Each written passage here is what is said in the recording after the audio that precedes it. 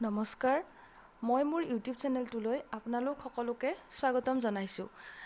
আজিৰ এই ভিডিঅ'টো আৰম্ভ কৰাৰ আগতে মই আপোনালোকক এটা ৰিকুৱেষ্ট কৰিব বিচাৰোঁ। যদি মোৰ ভিডিঅ'বোৰ চাই আপোনালোকৰ ভাল লাগে তেনেহ'লে মোৰ চেনেলটো ছাবস্ক্ৰাইব কৰিব আৰু মোৰ ভিডিঅ'ছবিলাক আপোনালোকে লাইক কৰিব।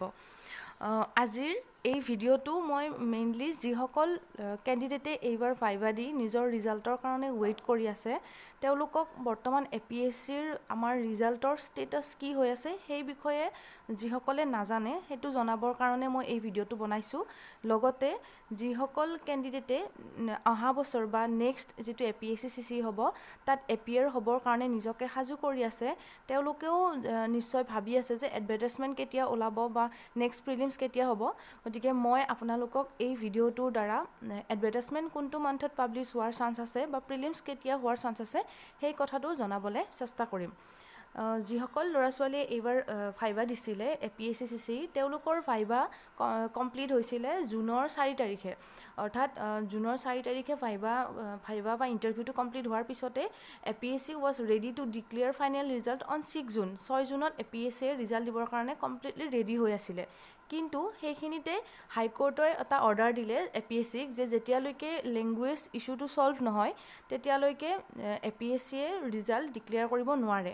আৰু সেনে তেনেকৈ হাইকোৰ্টে ইণ্টাৰভেনশ্যন কৰাৰ কাৰণে ৰেডি হৈ থকা ৰিজাল্টটো এ পি এছ চিয়ে কিন্তু পাব্লিছ কৰিব নোৱাৰিলে। গতিকে যদি আপোনালোকে যিসকলে হয়তো প্ৰায়খিনি কেণ্ডিডেটে গমেই পাইছে যে হাইকোৰ্টত বৰ্তমান কি হৈ আছে বা আমাৰ লেংগুৱেজ ইছ্যুটো কিমানখিনি আগবাঢ়িছে কি হৈ আছে কিন্তু যিসকলে নাজানে গম নাপাইছিলে তেওঁলোকক মই ক'ব বিচাৰিছোঁ যে ৰিজাল্টটো এইটো কাৰণেই দিব পৰা নাই কাৰণ হাইকোৰ্টত এতিয়াও লেংগুৱেজৰ ইছ্যুটো ছল্ভ হোৱা নাই।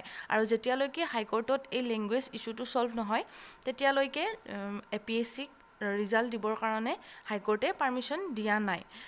আৰু যিসকল যিটো বেটছে নেক্সট ইয়েৰ এপিয়াৰ হ'ম বুলি ৰখি আছে তেওঁলোককো মই এইটো ক'ব বিচাৰিছোঁ যে এই লেংগুৱেজ ইছ্যুটো আপোনালোকৰ আপোনালোকৰ বেটছৰ লগতো ৰিলেটেড হয়। কাৰণ লেংগুৱেজটো নেক্সট বেটছত এড হ'বনে নহয় সেইটো এইবাৰৰ কোৰ্টৰ কনক্লুজনতেই ডিচাইড হ'ব। সেইটো কাৰণে আচলতে এতিয়ালৈকে এ পি এছ চিয়ে ৰিজাল্টটো দিব পৰা নাই লগতে নতুন এডভাৰটাইজমেণ্টো পাব্লিছ কৰিব পৰা নাই।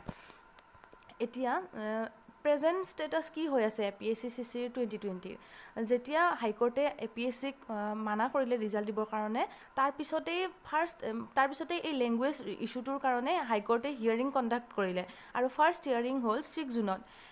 ছিক্স জুনত যিহেতু ৰিজাল্টেই দিব লগা আছিলে কিন্তু ছিক্স জুনত এটা হিয়াৰিংহে হ'ল হাইকোৰ্টত। আৰু সেইটো হিয়াৰিঙৰ বিষয়ে বিশেষ বিশেষ কেণ্ডিডেটখিনিয়ে বিশেষ একো গম নাপালে। কিন্তু এইটো গম পালে সেইটো হিয়াৰিঙত এটাই ডিচাইড হ'ল যে ফাইনেল হিয়াৰিংটো ফিফটিন জুনত হ'ব। ফাইনেল মানে নেক্সট হিয়াৰিং ফিফটিন জুনত হ'ব। আৰু ফিফটিন জুনত নেক্সট হিয়াৰিংটোৱে আমি প্ৰায়খিনি ল'ৰা ছোৱালীয়ে যিখিনি ভাইবা দি ৰিজাল্টৰ কাৰণে ৱেইট কৰি আছিলে সেই সকলো ল'ৰা ছোৱালীয়ে ফিফটিন জুনটোৱে ফাইনেল হিয়াৰিং হ'ব বুলি আশা কৰি আছিলে। আৰু এইটোও আশা কৰিছিলোঁ যে ফিফটিন জুনত যদি হিয়াৰিং হৈ যায় আৰু এ পি এছ চিক যদি হাই পি এছ চিক যদি হাইকোৰ্টে পাৰ্মিশ্যন দিয়ে তেতিয়াহ'লে নিশ্চয় ছিক্সটিন জুনত ৰিজাল্ট দি দিব।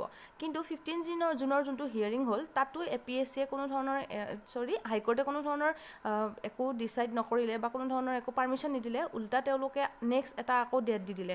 আৰু সেই ডেটটো দিলে তেওঁলোকে টুৱেণ্টি এইট জুন তাৰপিছত আকৌ ল'ৰা ছোৱালীখিনিয়ে টুৱেণ্টি এইট জুনটো ফাইনেল ডেট হ'ব বুলি সকলোৱে আশা ৰৈ আছিলে। কিন্তু টুৱেণ্টি এইটত যিটো হিয়াৰিং হ'ল তাতো এ পি হাইকোৰ্টে কোনো ধৰণৰ একো ফাইনেল কনক্লুজন নিদিলে বা এ পি এছ চিকো কোনো ধৰণৰ অৰ্ডাৰ নিদিলে ৰিজাল্ট দিবৰ কাৰণে ওলোটা তেওঁলোকে সেইদিনাখনেও এটা আকৌ নেক্সট হিয়াৰিঙৰ ডেট দি দিলে আৰু এইটো হিয়াৰিঙৰ ডেট দিলে টুৱেণ্টি ছেভেন জুলাই। অৰ্থাৎ টুৱেণ্টি এইট জুনত আশা কৰি থকা যিটো আমি আশা কৰি আছিলোঁ সেইটো গৈ এমাহ পিছুৱাই পেলাই টুৱেণ্টি ছেভেন জুলাই হৈ গ'ল। এতিয়া অলৰেডি যিহেতু আমি ফ'ৰ জুনৰ পৰাই ৰখিয়ে আছিলোঁ নেক্সট আৰু এটা মান্থ ৰখাটো আচলতে সকলো কেণ্ডিডেটৰ কাৰণে বহুতেই প্ৰব্লেম আছিল। যিটো টুৱেণ্টি এইট জুলাইত হিয়াৰিং হ'ল সেইদিনাখনেও কিন্তু একো তেনেকুৱা ডিচিজন নল'লে। সেইদিনাখনেও আমি ফাইনেল হ'ব বুলি ভাবিছিলোঁ টুৱেণ্টি এইট জুলাইত। সেইদিনাখনেও নেক্সট আকৌ ডেট পিছুৱাই পেলাই থাৰ্ড আগষ্টলৈকে নিলে। তাৰপিছত থাৰ্ড আগষ্টত আকৌ হিয়াৰিং হ'ল। থাৰ্ড আগষ্টৰ হিয়াৰিঙৰ দিনাখনেও কিন্তু তেনেকুৱা কোনো কনক্লুজনলৈকে নাহিলে। কিন্তু হ'লেও থাৰ্ড আগষ্টৰ হিয়াৰিংটো আমাৰ কাৰণে এটা বহুত ইম্পৰ্টেণ্ট হিয়াৰিং আছিলে। কাৰণ সেইদিনাখনৰ পৰাই সেইদিনাখনে হাইকোৰ্টত এটা কথা ডিচাইড কৰিলোঁ এটা ডিচাইড কৰিলে যে নেক্সট নেক্সট আমাৰ আঠ আগষ্টৰ পৰা কণ্টিনিউৱাছ হিয়াৰিং হ'ব যেতিয়ালৈকে এই মেটাৰটো ছল্ভ নহয়। অৰ্থাৎ ইমান দিনে য'ত হাইকোৰ্টে একমাহ বা বহুত ডাঙৰ ডাঙৰ গেপ লৈ হিয়াৰিং কৰি আছিলে কিন্তু থাৰ্ড আগষ্টত হাইকোৰ্টৰ পৰা এটা আমি গম পালোঁ যে তেওঁলোকে নেক্সট হিয়াৰিংটো কণ্টিনিউৱাছ কৰিব। অৰ্থাৎ from eight August onwards everyday hearing will took place on two to P M আঠ আগষ্টৰ পিছৰ পৰাই অৰ্থাৎ যোৱাকালি আঠ আগষ্টৰ পৰা টু পি এমত কণ্টি কণ্টিনিউৱাছ টু পি এমৰ পৰা হিয়াৰিং ষ্টাৰ্ট হৈছে। যোৱাকালি টু পি এমত হৈ গ'ল আজিও টু পি এমতে আছে। আৰু যেতিয়ালৈকে মেটাৰটো ছল্ভ নহয় তেতিয়ালৈকে টু পি এমতেই হ'ব। আৰু যিমানবোৰ চ'ৰ্চৰ পৰা ইনফৰ্মেশ্যন কালেক্ট কৰিবলৈ ট্ৰাই কৰিছোঁ সেই সকলোবোৰ চ'ৰ্চৰ পৰা এটা কথা গম পাইছোঁ যে যোৱাকালি যিটো হিয়াৰিং হৈ গ'ল তাত যিটো আমাৰ অপজিশ্যন পাৰ্টি হয় তাৰ সেই পাৰ্টীৰ লয়াৰজনক এডভকেটজনক তেখেতক নিজৰ পইণ্ট অফ ভিউ দিব দিছে নিজৰ পইণ্টছবোৰ দাঙি ধৰিবলৈ দিছে আৰু তেখেতে চিফ জাষ্টিছৰ সন্মুখত নিজৰ পইণ্টছবিলাক দাঙি ধৰিছে। আৰু আজি অৰ্থাৎ ন আগষ্ট আজিও তেখেতেই ক'ব আজিও তেখেতৰেই পইণ্টছবিলাক দিব। তাৰপিছত যিমান দূৰ ইনফৰ্মেশ্যন গম পাইছোঁ তাৰপিছত গভৰ্ণমেণ্টে ক'ব নেক্সট আকৌ আকৌ হয়তো এদিন গভৰ্ণমেণ্টৰে গভৰ্ণমেণ্টৰে দিন থাকিব সেইদিনাখনেও হয়তো গভৰ্ণমেণ্টে ক'ব।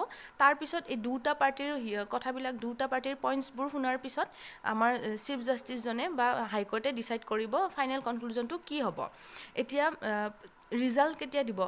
কাৰণ এতিয়াতো এতিয়া যিটো যিহেতু কণ্টিনিউৱাছলি হাইকোৰ্টে হিয়াৰিং কণ্ডাক্ট কৰিয়ে আছে গতিকে আমি আশা কৰিছোঁ যে যদি ওৱান উইকৰ ভিতৰত যদি এই হাই এই যিটো কণ্টিনিউৱাছ হিয়াৰিংটো যদি শেষ হৈ যায় আৰু ওৱান উইকৰ ওৱান উইকৰ ভিতৰত যদি কনক্লুজনত আহিব পাৰে তেতিয়াহ'লে ৰিজাল্ট নিশ্চয় ফিফটিন আগষ্টৰ পিছত দিয়াৰ চান্স আছে।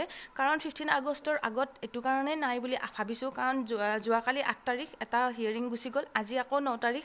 আজিও আজিৰ পৰা যদি কণ্টিনিউৱাছ এইটো উইক হৈ যায় যিহেতু ফৰ্টিনত আমাৰ ছানডে হ'ব ফিফটিনত বন্ধ থাকে ফিফটিনত মানডে হ'ব আৰু আঠ তাৰিখ আৰু তেৰ তাৰিখৰ মাজত ছিক্স ডেজ আছে। আৰু এই ছিক্স ডেজৰ ভিতৰত যদি গোটেইখিনি মেটাৰ ছল্ভ হয় তেতিয়াহ'লে নিশ্চয় আমি আগষ্টৰ ফিফটিনৰ পিছত ৰিজাল্ট এক্সপেক্ট কৰিব পাৰোঁ। আৰু যদি তাতকৈও যদি আগত যদি হাইকোৰ্টে কনক্লুজনলৈকে আহিব পাৰে তেতিয়াহ'লে মে বি থাৰ্টিন আগষ্টতো থাৰ্টিন বা টুৱেল্ভ থাৰ্টিন আগষ্টতো ৰিজাল্ট দি দিব পাৰে। মানে মই জাষ্ট এটা নিজৰ এক্স প্ৰেডিকশ্যনহে কৈছোঁ। কিন্তু যদি মানে আমি ভালদৰে ভাবিবলৈ যাওঁ তেতিয়া তেতিয়া এইটো আমি ফিল কৰিম যে থাৰ্ড ফিফটিন আগষ্টৰ আগত হয়তো ৰিজাল্ট দিয়াটো ইমান এটা পচিবল নহয়। কাৰণ যিমান যিমান যেনেকেই নহওক ছিক্স ডেজটো মিনিমাম লাগিবই তেওঁলোকে ভালদৰে এটা কনক্লুজনলৈকে অহালৈকে। এতিয়া যি এইখিনি হ'ল যিসকল কেণ্ডিডেটে ভাইবা দি নিজৰ ৰিজাল্টৰ কাৰণে ৰখি আছিলে তেওঁলোকক মই এ পি এছ চিৰ বৰ্তমানৰ ষ্টেট ৰিজাল্টৰ ষ্টেটাছটো কৈ দিলোঁ। এতিয়া যিসকল ল'ৰা ছোৱালীয়ে next year A P S C দিম বুলি ৰখি আছে তেওঁলোকে হয়তো বহুতেই এতিয়ালৈকে এডভাৰটাইজমেণ্ট পাব্লিছ নোহোৱাৰ কাৰণে হয়তো বহুতেই এইটো ভাবি আছে যে কিয় এডভাৰটাইজমেণ্ট পাব্লিছ হোৱা নাই। এতিয়া মই আপোনালোকক কৈছোঁ যে কিয় নতুন এডভাৰটাইজমেণ্ট এতিয়ালৈকে A P S A publish কৰিব পৰা নাই। কাৰণ যিটো লেংগুৱেজ ইছ্যু যিটোৰ কাৰণে এতিয়ালৈকে ৰিজাল্টেই ডিক্লেয়াৰ কৰিব পৰা নাই সেই লেংগুৱেজ ইছ্যুটো অনলি এইটো ইয়েৰৰ ৰিজাল্টৰ লগতেই নহয় নেক্সট ইয়েৰৰ এডভাৰটাইজমেণ্টৰ লগতো ৰিলেটেড হয়। কাৰণ এইবাৰ এবাৰ এডভাৰটাইজমেণ্টটো ওলাওঁতেই তেওঁলোকে এইটো মেনশ্যন কৰিব লাগিব যে লেংগুৱেজ পেপাৰখন ইনক্লুড হয় নে নহয়। কিন্তু আৰু তেনেকুৱা ধৰণৰ একো মেনশ্যন নকৰাকৈ এটা এডভাৰটাইজমেণ্ট এড কৰিব নোৱাৰে। কাৰণ যদি তেওঁলোকে এইবাৰ যদি লেংগুৱেজ পেপাৰখন যদি এক্সক্লুড কৰি পেলাই যদি এডভাৰটাইজমেণ্টটো পাব্লিছ কৰি দিয়ে তেতিয়া হয়তো নেক্সট টাইম আকৌ যদি আৰু যদি এই কোৰ্টে যদি তেওঁলোকক লেংগুৱেজ পেপাৰটো ইনক্লুড কৰাৰ কাৰণে যদি ফাইনেলি যদি যিটো কনক্লুজন আহিব কোৰ্টৰ পৰা তাত যদি তেওঁলোকে কৈ দিয়ে যে লেংগুৱেজ পেপাৰখন থাকিব লাগে তেতিয়া কিন্তু এডভাৰটাইজমেণ্টটো যিটো নতুন এডভাৰটাইজমেণ্ট পাব্লিছ হ'ব সেইটো কিন্তু ভাইলেট কৰা হ'ব। আৰু সেইটো কাৰণে আচলতে এ পি এছ চিয়ে এতিয়ালৈকে কোনো ধৰণৰ নতুন এডভাৰটাইজমেণ্ট দিয়া নাই। কাৰণ এ পি এছ চিৰ ফালৰ পৰা কিন্তু সম্পূৰ্ণ প্ৰিপেয়াৰ হৈ আছে। কাৰণ অলৰেডি তেওঁলোকে নিউজ পেপাৰেই হওক বা যি বিভিন্ন চ'ৰ্চত তেওঁলোকে কিমানখিনি পষ্ট খালী হৈছে বা কিমানটা পষ্টৰ কাৰণে এইবাৰ এডভাৰটাইজমেণ্ট আহিব পাৰে তাৰে ওপৰত বিভিন্নটা আৰ্টিকল তেওঁলোকে প্ৰকাশ কৰিছে।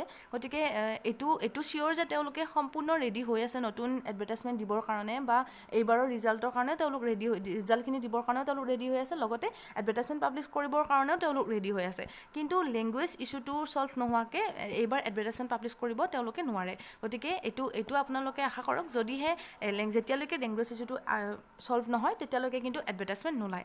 এতিয়া when we can expect new advertisement আমি নতুন এডভাৰটাইজমেণ্ট কেতিয়া এক্সপেক্ট কৰিব পাৰোঁ? যিহেতু হাইকোৰ্টে এতিয়া কণ্টিনিউৱাছলি হিয়াৰিং কণ্ডাক্ট কৰি আছে যোৱাকালি আঠ তাৰিখৰ পৰা। গতিকে কণ্টিনিউৱাছলি যেতিয়া এটা টপিকৰ ওপৰত হিয়াৰিং হৈ থাকিব তেতিয়াহ'লে সেই মেটাৰটো ছল্ভ হওঁতে বহুত বেছি দিন নালাগে।